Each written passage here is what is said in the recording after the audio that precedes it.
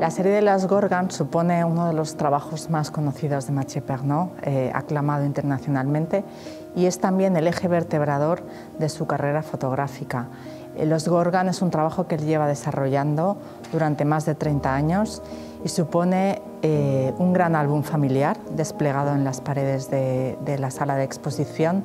y que refleja eh, el uso de la fotografía, la aproximación que hace a las historias personales de cada uno de los miembros de esta familia Mathieu Pernod, en el que se mezclan distintos tiempos, distintos